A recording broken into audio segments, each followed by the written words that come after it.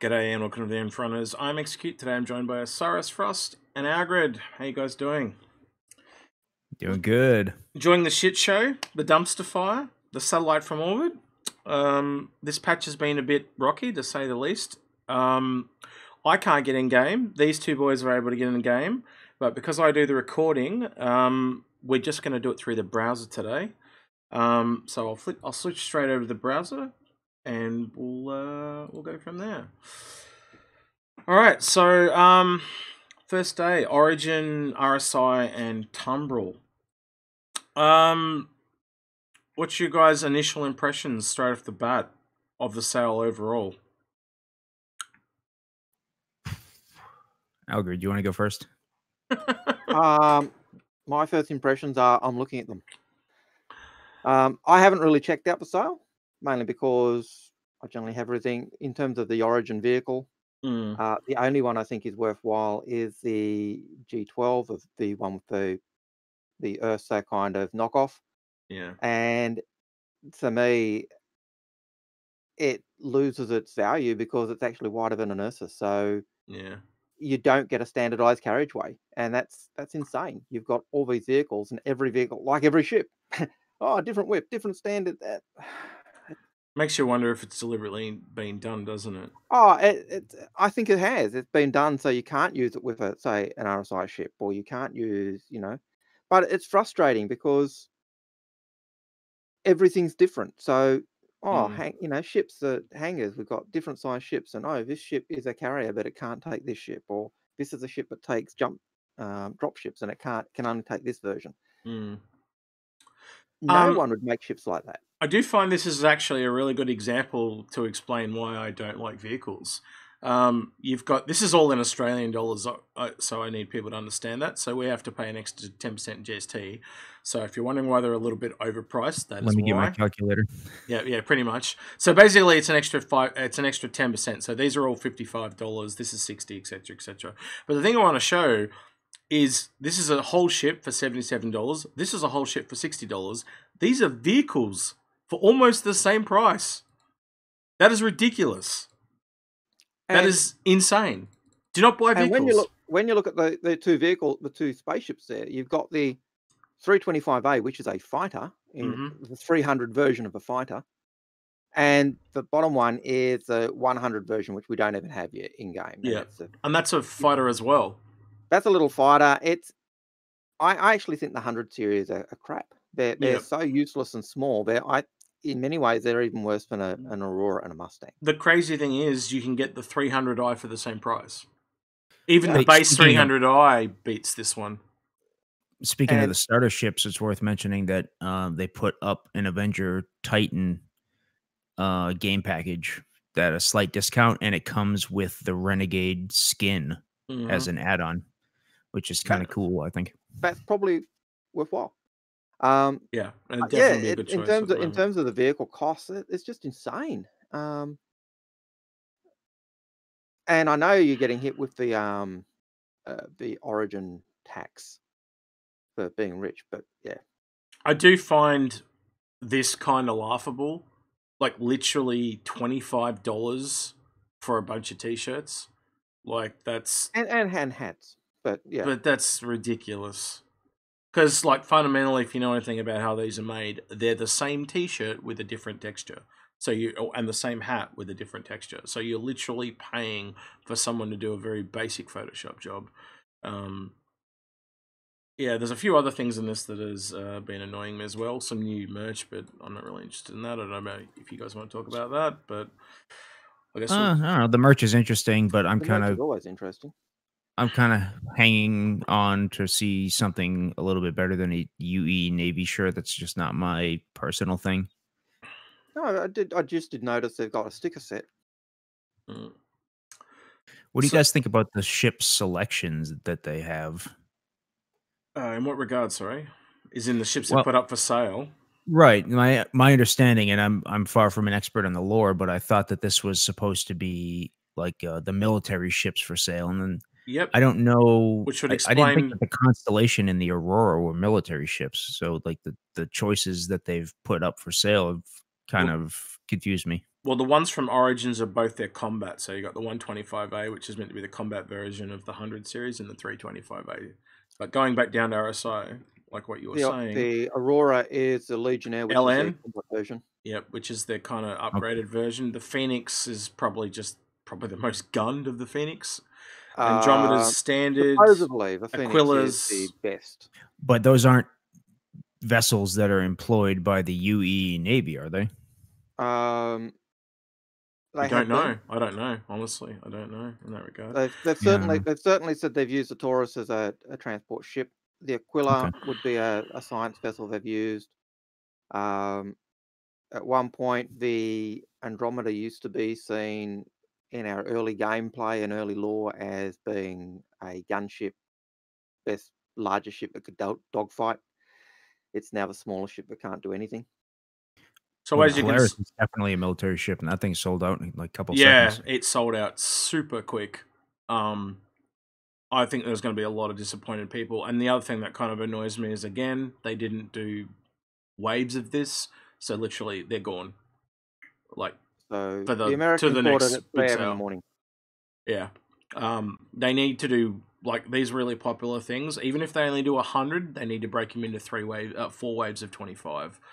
Well, Um, in fairness, they might, but they usually are really bad about announcing it until after the second wave. And then Yeah. they say, "Oh yeah, we did a second wave, and maybe we'll do a third one or whatever." And then by that Yeah. time, you've missed most of your opportunities. So yeah, they they need to do a better job of planning these things in advance and communicating their intentions. Yeah, and they do actually have the Medivac vac up for sale as well. So both versions of the Apollo are up as well. Um, So that was the one thing ver- I bought Medi- today was a CCU to the Medivac. And Yeah. the Medivac was that limited edition one, so that was the harder one to get. yeah. Now, this is something that I am very. I don't know how to word this. I, I think this is really expensive for what they are. Um, they also have tailored them to the price of the ships. So something like an Aurora skin, I actually find that reasonable at three dollars. Yeah, that's that looks that looks Right. reasonable. Yes, ah, yeah. But then, as soon as you go to a ship that's bigger, like the Constellation, um, this one skin is that'll be a roughly roughly ten dollars in in normal American dollars, so to speak. But that is like that is really expensive, and it's just blue and gold. It's If you it's- notice, they're they're discounted currently, correct? So you would assume that after this event, they're going to go up in price by a, a dollar or two. um, I don't know. I didn't know they were discounted. I thought that Or was just that- the standard price. I'm man. If that thing's going to be in game, I'll earn it in game. I'm not even. I guess I looked at it on the extras tab. Maybe I was looking at a different view than you.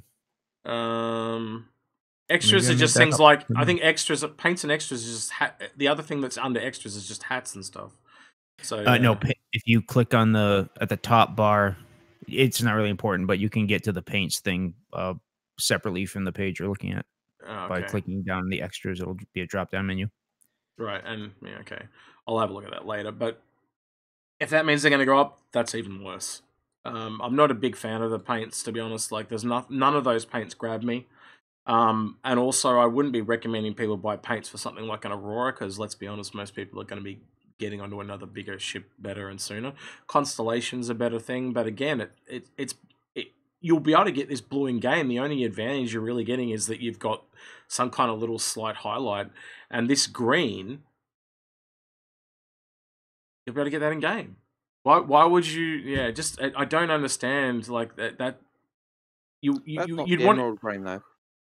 what? I'm- No, no. I'm talking about just a, a general plain colors you'd be able to get in game. So why would you buy it for literal eight dollars when you can get it for free, and earn it for free in game? I, I like if they were selling this as I said for three dollars, I could understand people picking that up for convenience, but it's not convenient at that price. Well, I Um, think that what they said on a recent, I think it was calling, uh, not calling all devs, or maybe it was, or maybe it was Star Citizen Live. I think they said that the the proprietary skins are not going to be something that you That's can correct. you apply by the paint system that they give you. yeah. So there is a little bit of So of the one out of these two, the proprietary one is probably this Invictus Blue and Gold, but this is Yeah. just a normal standard flat green. yeah, yeah. Um, so what I'm talking about, so what you're talking about is like the example they gave was the Liberator skin for the Valkyrie, and I'm I can think of a whole bunch of them, like the Nox, the X1. There's a whole bunch, uh, like the Heartseeker skin for the the the Hornet and stuff like that. But it's not going to stop you painting your ship a certain plain color. You just won't have some other added effects. Um, like the example they gave of the Nox is you'll be able to paint your Nox silver, but you won't get the decals that come with that. So Right. Yep. yeah. Um, I don't have any problem with the cosmetic upgrades. I think that they're probably not worth the money for myself, but I, I think that that's probably a good way for CIG to keep raising money. Uh, a lot of people are really into cosmetic upgrades like that. yeah. I usually am, but they just seem overpriced. That's that's my gut feeling. It's just twelve bucks for a constellation skin, and my problem with a constellation is the constellation sucks. It is an absolute piece of crap.